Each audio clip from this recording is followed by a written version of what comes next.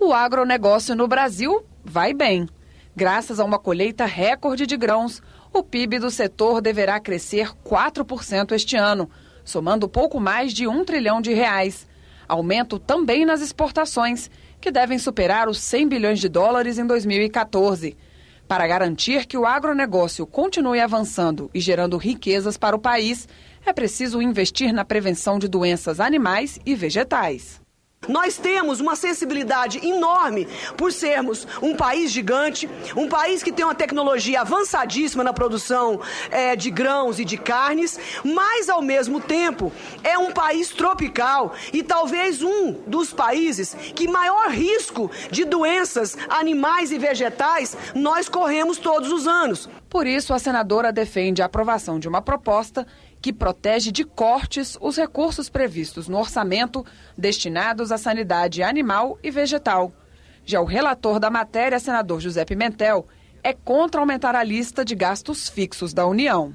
Hoje, o Congresso Nacional, o Executivo e o Judiciário só tem gestão e capacidade de influenciar sobre 10% de todo o orçamento da União. O restante é tudo carimbado, é tudo vinculado e isso termina dificultando determinadas ações. É por isso que o nosso parecer é contrário a esse projeto, não pelo seu mérito, mas pela alta vinculação que nós já temos. Eu acho que o país tem a obrigação de investir nas suas vocações naturais. A pecuária, a avicultura, a suinocultura são vocações naturais, são geradores de divisas no Brasil. Ninguém pode brincar com isso. Na hora em que você contingencia e evita a liberação para os estados fazerem convênios de prevenção a doenças no campo animal, você está atirando no coração da capacidade do Brasil, pela sua produção, gerar equilíbrio de balança de pagamentos. O senador Luiz Henrique propôs um acordo.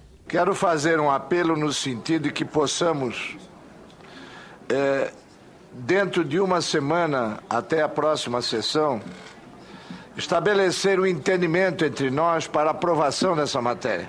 Eu acredito que esse é um tema que pode, assim como foi o seguro, armazenagem e assistência técnica, fazer parte de um programa especial no novo Plano Safra, que a presidenta deve anunciar agora entre maio e junho desse ano.